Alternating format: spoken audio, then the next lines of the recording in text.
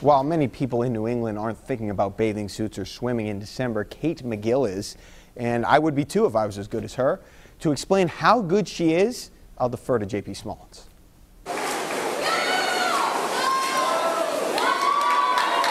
She's the distance queen of Rhode Island swimming. Bayview's Kate Magill, the three-time reigning champ in the 500 freestyle, who's currently ranked number one in New England in the 1,000 and 1,500 free. I started my freshman year. Um, my sister was also a swimmer, so I wanted to be on the team with her and have the same high school experience that she had. And um, I mean, I've just had a great experience. Um, starting off my freshman year, winning states was great, and I think that really pushed me to want to continue swimming, and it's brought me to this point. So hopefully, I can claim my titles again in the 500 and hopefully the 200.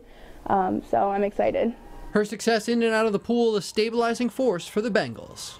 At practice, she is the one working the hardest in the pool. Um, she sets the pace, she sets a tone when um, I have a set and I'm working with a different lane, only then might need more technique, she's getting the rest of the pool going.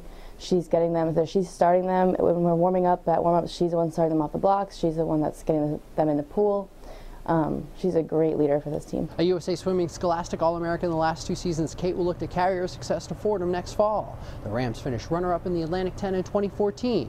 The fifth time in six seasons, they finished either first or second in conference. As I was looking at colleges, I wanted my the college that I go to model what I've had here at Bayview with the teachers being supportive, the students. Um, and I found that in Fordham, the education is great, and meeting the swim team, they're all just amazing people, and I can't wait to start there. The coaches that she's going to have are only going to make her that much better. The way she's going to work out in the pool, um, the dry lands, her academics, is just going to drive her to become that much better. And you can see what she's doing now, and I'm excited to see what she's going to do within the next four years. With your Cardi's Furniture Hometown Sports Hero, I'm JP Smallins.